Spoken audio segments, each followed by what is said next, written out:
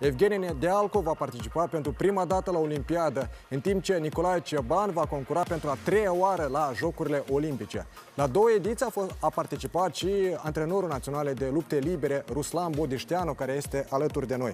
Domnule Bodișteanu, bună seara! Bună seara! Obiectivul minim a fost îndeplinit. Sunteți mulțumit? Sigur că suntem mulțumiți dacă pentru noi contează, cum, cum spun toți sportivii, adică majoritatea sportivilor, că la Jocurile Olimpice participarea deja e, o, e un succes. succes. Ar trebui să fim mulțumiți, dar ne-am propus mult mai mult când am venit în, în această postură de antrenor selecționat să avem o medalie olimpică și în acest context să vă pot răspunde numai după, după Rio, după participarea la Jocurile Olimpice. Nicolae Ceban poate e cel mai în formă în luptător la ora actuală. Zic asta pentru că la primul turneu de calificare s-a bătut pentru medale de bronz. În Mongolia a obținut două victorii cu 10 la 0. Nu a avut emoții din câte am văzut eu, nici în meciul decisiv cu mongolezul. Este Nicolae Ceban cel mai în formă luptător la ora actuală? Nu, nu, e, toți băieții sunt pregătiți bine, deci trebuie să înțelegem că mai sunt niște momente tehnici care le cunoaștem numai noi ca specialiști, vorbesc despre nu putem compara greutatea de 97 de kg cu aceeași categorie de 65 sau 57. Asta nu înseamnă deloc că categoria lui Nicolae este slabă, el a participat foarte bine. Mai mult că a arătat șansa, chiar 10 zile în urmă a arătat șansa și avea încă în, în memorie această înfrângere și mă bucur că a reușit să, să, să arăte voință și să se învingă în această luptă. S-a luptat foarte bine și toți băieții s-au simțit bine, dar mai sunt și momente de ce ține de presiunea aceasta de importanța calificărilor și vă dați seama că de la competiție la competiție băieții diferă în, în, în evoluarea lor. Se simte foarte bine acum și Evgeni Nedealco, care a zis că toată viața a visat să ajungă la o ediție a Jocurilor Olimpice. Este o surpriză calificarea sportivului din Comurat? Nu este o surpriză, fiindcă noi știam capacitățile acestui sportiv, mai mult ca atât că anul trecut a reușit să, să, să devină campion, nu campion, locul 2, dar nu s-a luptat în final la un turneu foarte puternic în Turcia, un, unul dintre cele mai puternice turnee ale anului. Anul acesta am vins două turnee, un turneu la Moscova și un turneu la, la Bulgaria, deja în categorie nouă pentru el în 74 de kilograme.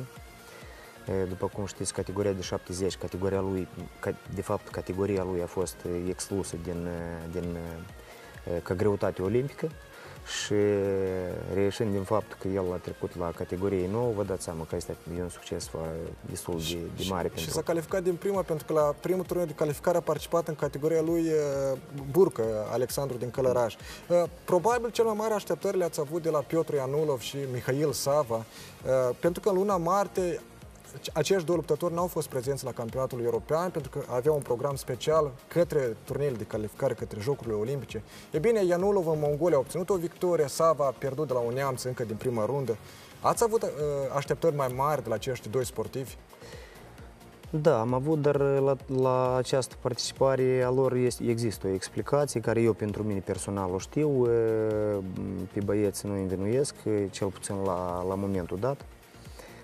Mă așteptam la, la aceste rupte mai slabe, în primul rând din considerentele că și Anulov și Sava au, au avut în campionatul intern a Germaniei lupte foarte grele și mai ales Mihai a, a, a făcut greutatea practic în fiecare săptămână și el are greutate destul de mare pentru categoria de 65 și acest lucru s-a, totuși s-a s-a răsfrânt asupra, asupra participării la aceste turnee, dar oricum și aceeași situație și la Piotr Ianulov. Dar uh, încă nimic nu este pierdut, avem încă ultimul turneu de calificare care o să fie acum săptămâna viitoare. Vineri plecăm și să sperăm că totuși până la urmă o să fie bine, o să reușim să să, să calificăm aceste două greutăți, chiar trei greutăți sperăm. Ce da, la acest, de acest turn de calificare vom discuta după ce vom vedea evoluțiile precedente a luptătorilor de stil liber la Jocurile Olimpice, pentru că a, ați spus că vă doriți o medalie la Jocurile Olimpice. Până acum au participat 11 luptători de stil liber la Jocurile Olimpice. Nici unul nu a reușit să urce pe podium. Moldova a avut până acum 11 luptători de stil liber la Jocurile Olimpice. Cea mai bună evoluție a fost la prima participare în 1996 la Atlanta. Actualul președinte al Federației, Victor Peicov, a obținut 4 victorii, dar în cele de urmă a încheiat pe locul 7 în categoria de greutate 74 kg. A pierdut meciul pentru un loc în marea finală cu sud-coreanul Park Jang-sun, pe care îl învingea câteva luni mai devreme la un turneu din Bulgaria. Peicov a fost provocat pe toată durata luptei, fiind lovit în față de sportivul din Asia. Un moment de neatență a făcut ca Park Jang-sun să puncteze decisiv în fața celui care în 1994 aducea argintul pentru Moldova de la campionatul mondial.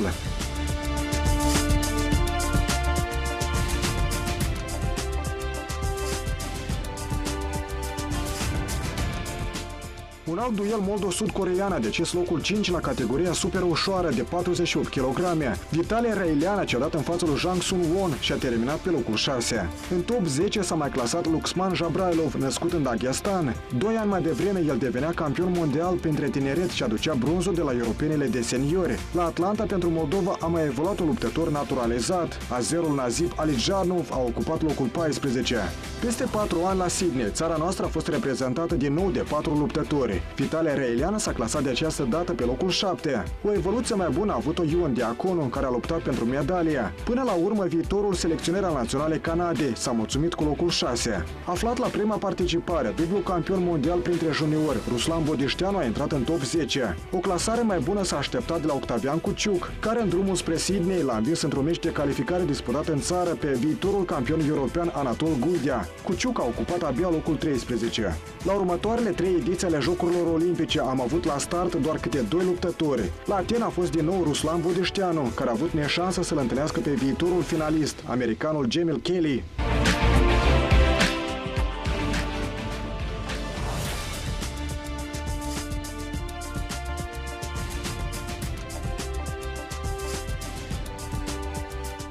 Avut succes nici Gennady Tulbea, care un an mai devreme cucerea argintul mondial, iar în 2001 devenea pentru prima dată campion european. Și viitorul reprezentant al micuțului stat Monaco i-a picat în cale un american, Stefan Abbas, care de asemenea a cucerit argintul. La Beijing a ajuns pentru prima dată la Olimpiadă Nicolae Ceban, care a fost port drapelul Moldovei la ceremonie de deschidere. Luptătorul, care avea atunci 22 de ani, a fost învins în prima rundă de maghiarul Gergle Kis. La această ediție a concurat pentru prima dată și o femeie. Ludmila Cristea s-a clasat în cele din urmă pe locul 10. În fine, la Londra, în 2012, Svetlana Sayenko, originară din Ucraina, a ocupat aceeași poziție după o victorie și o înfrângere. Același rezultat l-a obținut și Nicolae Ceba la 97 kg, o victorie cu un nigerian și o înfrângere cu un georgian. În cele din urmă locul 11 pentru Nicolae, care va concura și la Jocurile Olimpice din această vară. La Rio va fi și Evgeni Nedialco, originar din Comrat, care va concura la 74 kg. Domnule Bodișteanu, mereu se vorbește despre șansele la medale, ce trebuie de făcut pentru a câștiga, dar acum realitatea e alta, e foarte greu să te califici la Jocurile Olimpice. E foarte corect. Deci calificările devin tot din, din ce în ce mai, mai, mai greu de obținut, de obținut și, dar vreau să spun că condițiile de calificare pentru toți tot una, pentru toți luptătorii, pentru toate țările și pur și simplu aș, aș opta, adică mai vorbim între specialiști, spre exemplu, în comparație cu judo, părerea mea, eu văd mult mai corect calificările la judo, fiindcă se încep cu 2 ani, pare mi se, înainte de Jocurile Olimpice și e, participi la, la un număr de turnee mult mai mare și evident că riscul de de a pierde în, în două, trei turnee e mult, mai, e mult mai mare decât riscul de a pierde în 20-30 de turnee. Asta e, și, asta e și normal. Și de atât nu mai vorbesc de, de ceea că la noi s-au făcut calificările în timp de 3-4 săptămâni. Deci, dacă dintr-un motiv oricare nu te simți bine anume în perioada asta, ai ratat calificările la Jocurile Olimpice și asta, asta e situația. Sau cum s-a întâmplat la greco-romane, Daniel Cataraga i-a lipsit 150 de grame și nu a trecut cântarul și na, s-a dus totul pe apa sâmbă. Încă un exemplu, da, proaspăt în principiu, care în 1994-1997 ați fost campion mondial pentru juniori. La Olimpiadă, cel mai bună clasare, locul 10. Bine, există o diferență între juniori și seniori, dar cum vă motivați? Sau dacă ați fi participat acum la Olimpiadă, cum v-ați fi altfel motivat? Sau na, ce v-a lipsit să ocupați un rezultat mai bun? Nu aș vrea să încep acum, fiindcă asta e o temă din de discuție aparte, cred că lungă, dar totuși cred eu că problema cea mai, cea mai actuală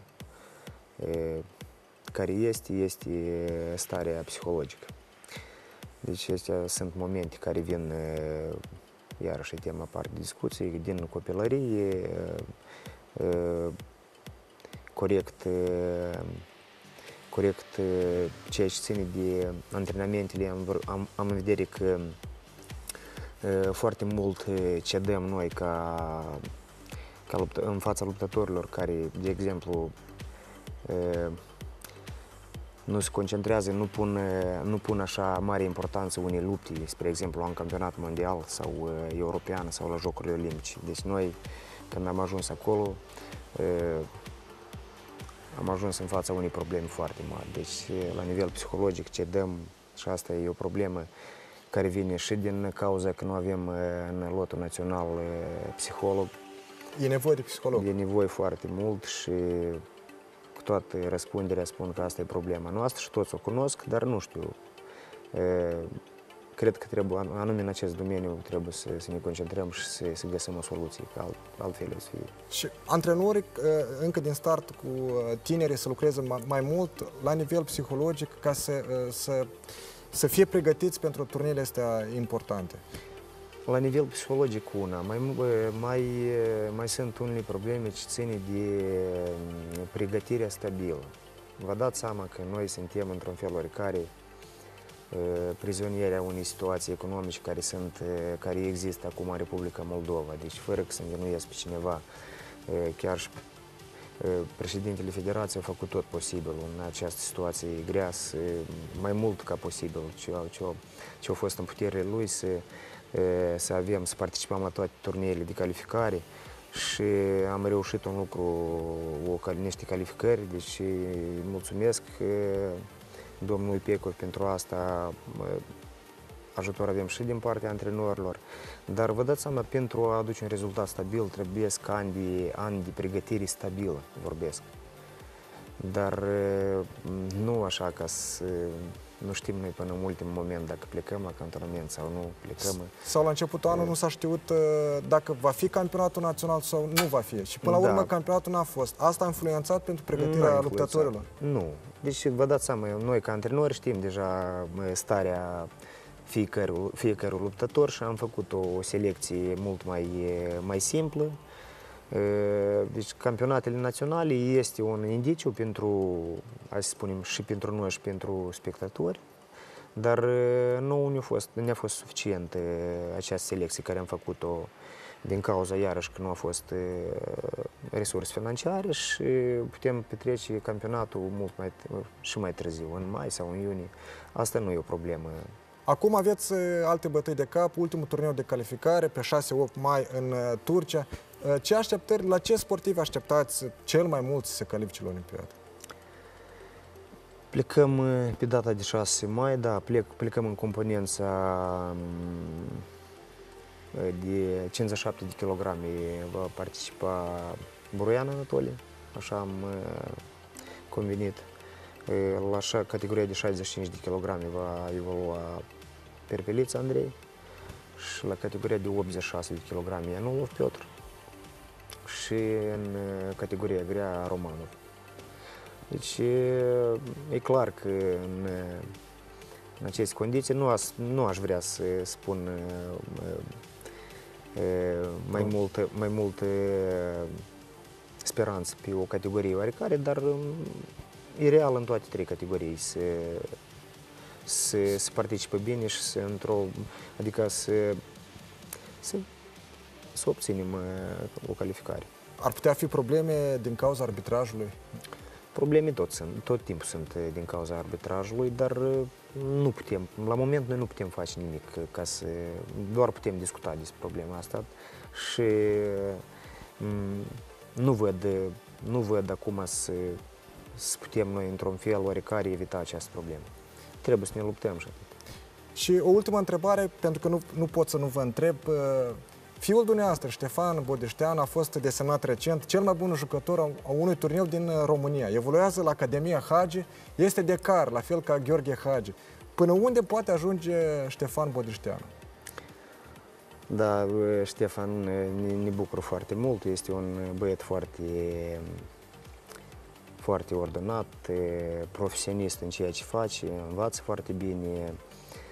Am reușit să să, a reușit, de fapt, să se încadreze în, în echipă, în, la Academia Hagi foarte rapid și limba comună a găsit și cu băieții și cu atitudinea lui eu într-adevăr sper la, la